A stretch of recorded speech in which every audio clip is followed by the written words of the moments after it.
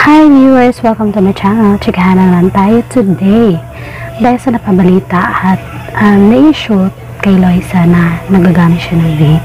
Diba kasi may nag-post ng video na solid fan ni Ronnie. At marami nagsasabi doon na fan ni Loisa na matagal, dati pa raw ay talagang haters na daw yun ni Loisa. Pero fan na fan yun kay Ronnie Alonte. So marami iba't ibang, iba't ibang pahiyag patungkol doon sa babae na nag-post. Pero sabi naman ng babae, accidentally, ay not accidentally, but pinost na yun dahil hindi daw na napansin na may hawak si Loisa. Pero hindi nilate naman daw niya nung nalaman niya. At ngayon naman ay isa sa mga nag-react, maraming nag-react sa nangyaring ganun. At isa sa mga nag-react ay ang mama ni Loisa of course. Sino ba naman, di ba? Isang ina. At sabi naman ay sinare iyon ng mama niretweet ng mama ni Loisa ang nasabing babae. Kaya sabi na sa caption ng mama ni Loisa ay kung hindi mo mahal, kung hindi mo gusto ang anak, ang anak ko, ay manahimik ka na lang at may ang angry na emoji. 'Di ba kasi guys, as ina, 'di ba?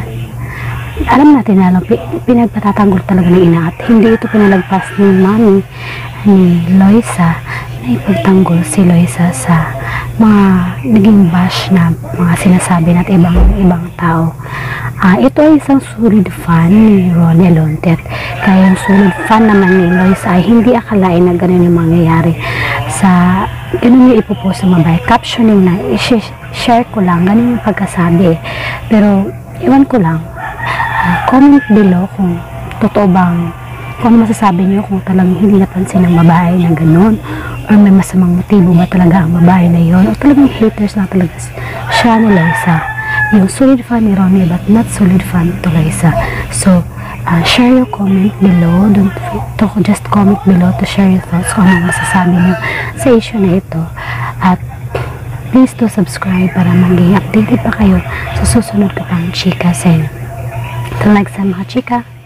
Thank you for watching.